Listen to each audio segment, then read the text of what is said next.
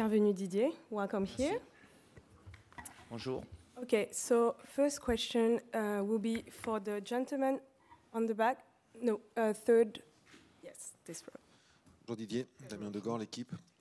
Euh, après la victoire contre l'Australie, tu étais satisfait de la- l'animation que tu avais mis en place, mais tu disais qu'il y avait quand même quelques corrections à apporter au niveau des placements notamment. Est-ce que tu trouves que après quelques heures de, plusieurs heures de réflexion, que le côté droit a été plus souvent en difficulté que le côté gauche?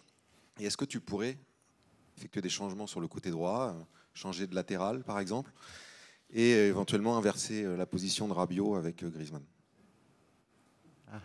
Mamma mia. Que de questions. Je peux tout faire.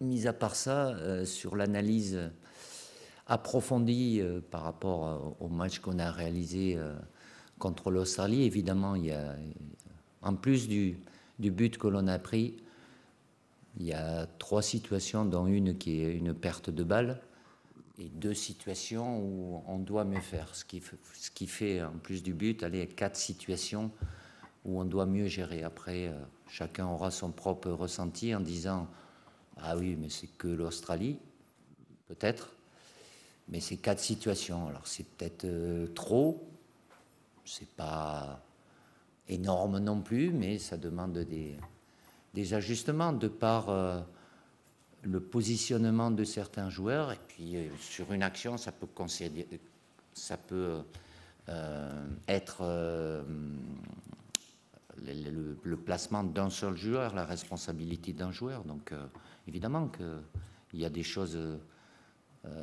qu'on peut améliorer à chaque fois, même si on a mis beaucoup de qualités euh, offensives. L'idéal pour toutes, euh, toutes les équipes, c'est d'être euh, dangereuse, marquer des buts et de laisser aucune occasion. Ça, c'est le match parfait. La perfection, on ne l'atteint pas. On fait en sorte, de s'en rapprocher le plus possible. Donc, ça passe par différents choix, discussions, euh, complémentarité aussi. Bah, chaque situation n'est pas, n'est pas la même, mais euh, c'est logique aussi qu'on ait des choses à améliorer. Après, à changer, euh, je vous laisse l'initiative de, de ces différents débats de, de pouvoir gauche, droite. si vous pensez que c'est c'est mieux ou pas, je choisirai. Um, gentleman here, second row, with the black shirt. Second row, And- black shirt. Bonjour Didier de Mixac, le. Parisien. Euh, Ousmane euh, Dembélé est venu cette semaine, il nous a confié sa volonté d'effacer 2018 où il estime qu'il n'a pas été euh, totalement performant et 2021 où il était blessé. Est-ce que vous le sentez, euh, vous, animé d'une volonté de rachat ou vous le sentez différent euh, Rachat, non. Après, euh, je ne pense pas qu'il ait envie de totalement euh, d'effacer parce qu'il faisait partie d'un groupe qui a connu le succès. Certes, il a pas, il a plus été acteur en un match que pratiquement toute la compétition il y a quatre ans. Il y a eu des, événements euh, dans sa vie euh, sportive, notamment avec des blessures importantes, mais euh, c'est un joueur plus construit, plus, mature, même si ça reste quand même toujours quelqu'un de très, joyeux, mais du fait des exigences aussi quotidiennes qu'il a avec son, club, il est mieux. Il est mieux.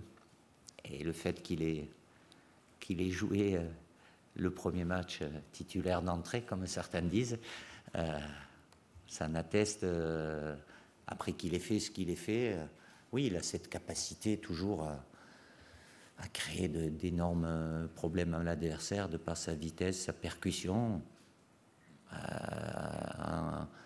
en faisant en sorte de, de réduire au maximum euh, le déchet, mais sur de, ce type de joueur, euh, il faut lui en laisser et être le plus efficace possible, même s'il n'a pas marqué, mais sur le, la passe euh, magnifique qu'il fait sur le but de la tête de Kylian.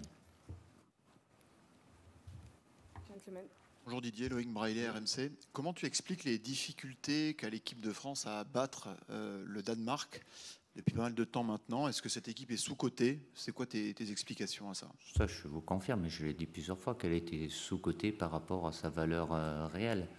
Pas mal de temps, c'est pas tant de temps que ça, c'est l'espace de quatre mois, puisqu'on les a joués entre, entre juin et, septembre. Elle nous a fait des misères, beaucoup de misères. Donc c'est de faire en sorte que on inverse la tendance euh, demain, sans parler de, revanche ou quoi que ce soit. Le sélectionneur danois et les joueurs danois nous connaissent, on les connaît. Il y a eu euh, une photographie sur juin qui est différente de celle de septembre et il y en aura encore une qui sera différente euh, demain parce que la situation des deux équipes n'est pas forcément la même euh, euh, pour demain, mais il y aura une analyse. Et évidemment, tout ce qui a vu avant sert, nous sert, mais sert aussi à l'équipe euh, danoise qui a toujours cette capacité quasiment sur, sur tous les matchs de, de changer de système. Et ça peut amener à, à des difficultés différentes. Um, the gentleman with the blue shirt. I will ask photographer to stop shooting, by the way. Bonjour Didier, Jérémy Talbot pour euh, l'AFP. Euh, je reviens un petit peu sur euh, Ousmane Dembélé qui a été percutant, décisif sur, sur une passe lors du match. Il n'est pas vraiment connu pour ses qualités de repli défensif. Est-ce qu'il n'y a pas un risque d'utiliser ce profil-là contre le Danemark qui va mettre beaucoup d'intensité au milieu et en attaque?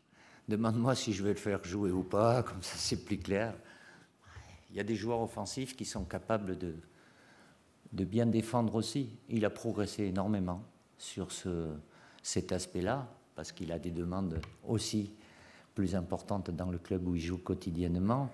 Euh, après, j'en discute avec lui. C'est pas, c'est plus du placement pour avoir des efforts qui sont moins importants. Euh, et d'ailleurs, sur ce match contre l'Australie, il en a eu deux un peu défaillant. Je lui ai dit de corriger, il a bien, bien corrigé. Mais euh, au-delà de sa capacité balle au pied, Ousmane est un joueur qui a un gros volume de jeu. Parce que, bon, ça remonte un petit peu, mais il jouait dans un club comme Dortmund où il jouait au milieu de terrain. Il était dans un triangle, donc il a la capacité, même si il le sait, je lui ai dit, les efforts qu'il va faire, je préfère qu'il les fasse dans le sens du but adverse. Mais selon les situations, il devra, comme il l'a fait.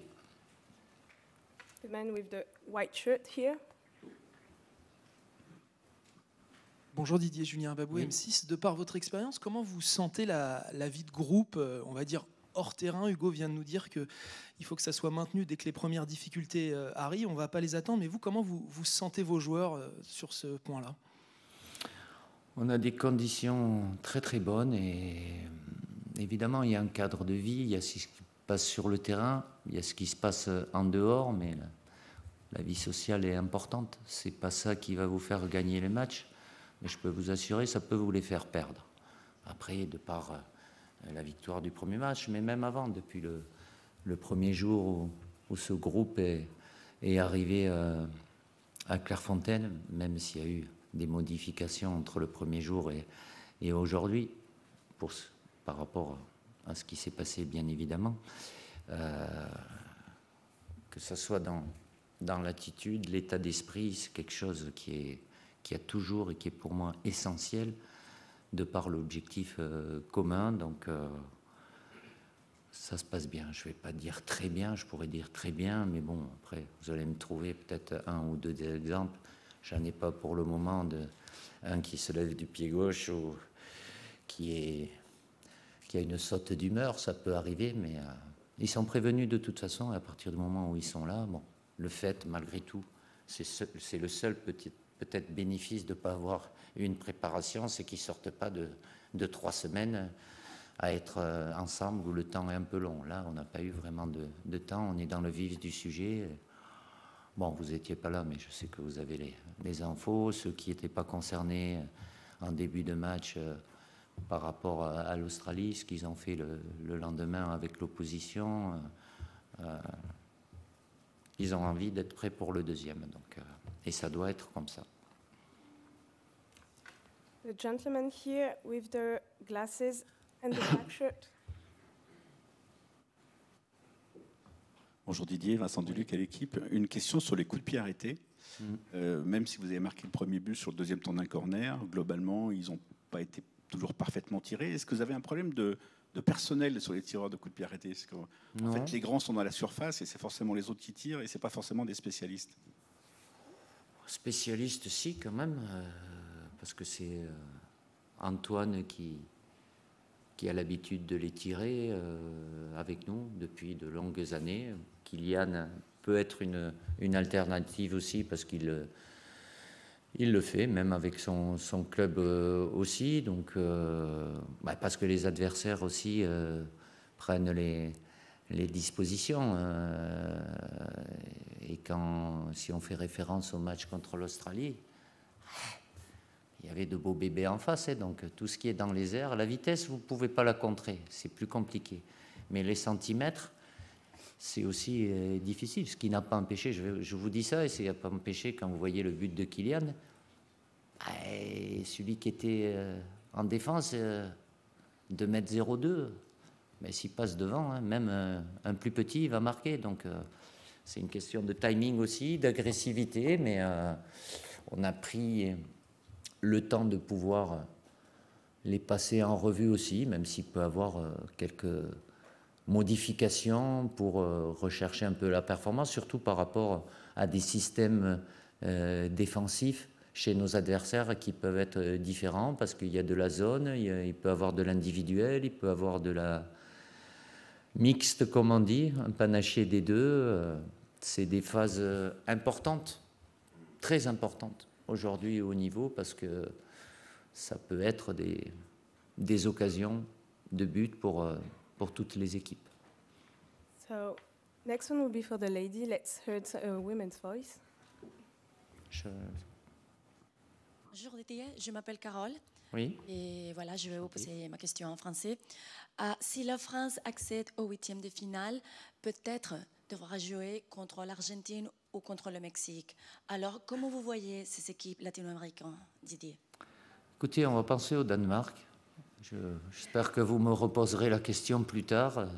Déjà, on s'occupe de nous dans notre groupe, et puis après, euh, euh, on verra ce qui se passe dans le groupe euh, qui nous concerne dans le cas de, qualification. Je ne vais pas parler des autres, je regarde les matchs, je ne les vois pas tous en entier, et puis des fois on est en séance aussi, mais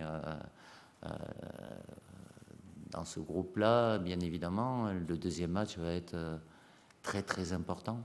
Il peut être décisif pour ces deux équipes, que ce soit l'Argentine parce qu'elle a perdu et, le Mexique, le parce, qu'elle a fait match nul.